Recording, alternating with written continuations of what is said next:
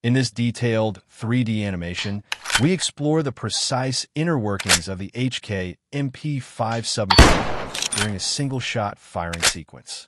As the trigger is pulled, the sear releases the hammer, which strikes the firing pin, igniting the cartridge inside the chamber.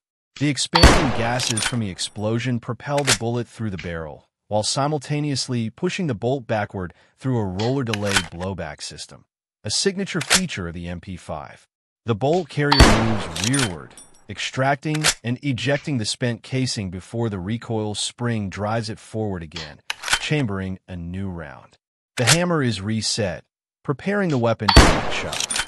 This smooth, controlled cycle demonstrates why the MP5 is renowned for its accuracy, reliability, and precision engineering, making it one of the most trusted submachine guns.